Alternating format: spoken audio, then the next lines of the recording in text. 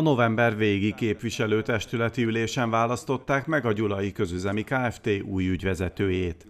Molnár Csaba korábban az önkormányzat mérnöki osztályát vezette, decembertől pedig az átszervezett városi cég ügyvezetőjeként dolgozik, kinevezése öt évre szól. Mint ismert, a közüzemi Kft. életében a tavalyi év végén jelentős változások történtek, a vízi közmű ágazat 123 munkatársal az Alföldvízhez került, bár így is sok fontos feladat és 143 ember maradt a cégnél. Rengeteg feladat vár ránk az, el, az elkövetkezendő évben.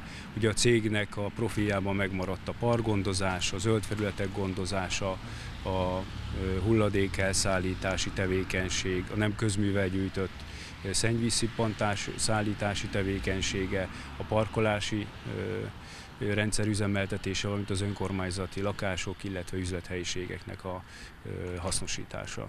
Molnár Csaba azt mondta, sok kihívás vár rájuk 2024-ben, vannak olyan területek, melyeket különösen nagy figyelem övez. Ugye nyilván a testületüléseken én is részt vettem a korábbiakban, ahol a képviselői interpellációknál fölmerültek bizonyos dolgok.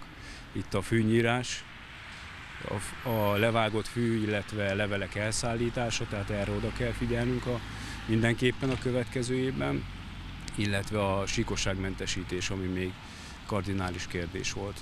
Igyekszünk ezeket úgy kezelni, hogy ne érje szó a ház elejét. Az ügyvezető hangsúlyozta, munkájukat úgy szeretnék ellátni, hogy azzal elégedettek legyenek a gyulai lakosok.